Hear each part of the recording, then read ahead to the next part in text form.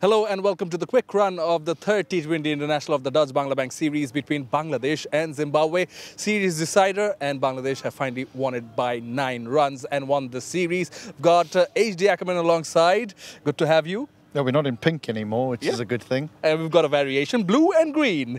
But yes, was uh, almost a nail biter, almost went down the wire. Well, it did go down to the wire, to be perfectly honest. Uh, and this is a problem for, for Bangladesh going forward. It seems that they have Zimbabwe up against the racks early on, and they're just not able to finish them off in all three T20 internationals. Mhm. Yeah, but uh, you know that's what everyone wanted to see. Bangladesh batting first, batting first. They they scored 165, uh, courtesy of that partnership between Tawhid Hridoy and Jaker Ali Anik. His maiden half century, Tawhid Hridoy. Yeah, he's a good player. I think we spoke about it after the second T20 international. I, I really view him as the, the future of T20 cricket for uh, for Bangladesh. What he does seem to have achieved now is not only this swashbuckling cricket, he's able to manipulate the ball well. He understands the importance of the situation that he finds himself in.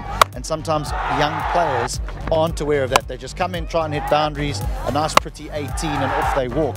He's now starting to work out how to uh, put an innings together and win games for his team. And again, he did it tonight in a difficult situation with Jaker Ali because they were in trouble again, Bangladesh. Yeah, they lost three wickets and they needed a partnership, and then they needed to pick up the pace, which they did. Ali Anik and Tawhid Hridoy all together.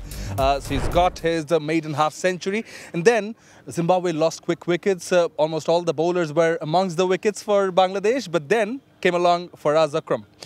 Yeah, I know it's a silly comment, but we, we're starting to think that, that Zimbabwe should maybe reverse their batting order. But no, not the case. Look, they've got themselves into trouble again. I actually think that um, young Jonathan Campbell played well, 21 of 10. It just changed the momentum a little bit because they were nowhere near it. They were they were needing 12, 13 to the over, and then Akram came in and played a nice little cameo towards the back end there to, to give Bangladesh a little bit of a fright.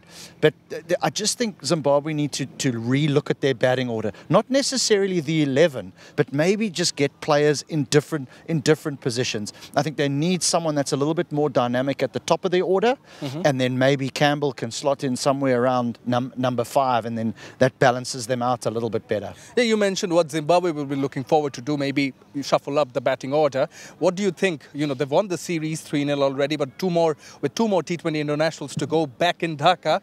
What are some of the pointers for Bangladesh? Well, two big ones is that there's possibly three players coming back. We know that Shakib Al Hasan and Mustafa Rahman will be coming will be coming back.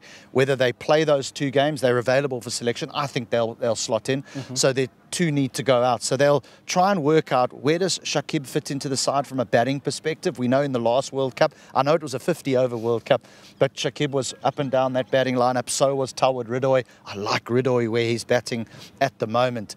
Do they risk someone else at the top of the order and give Litton Das a little bit of a breather? He's hmm. not keeping wicket at the moment. Jaker Ali's got some runs.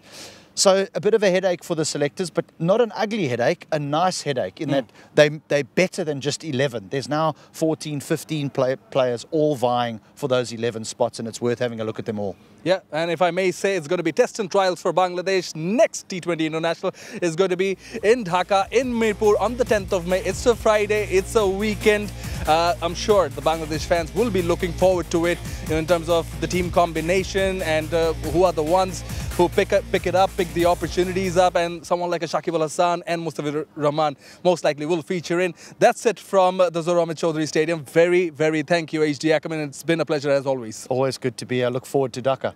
Look forward to Dhaka. That's it.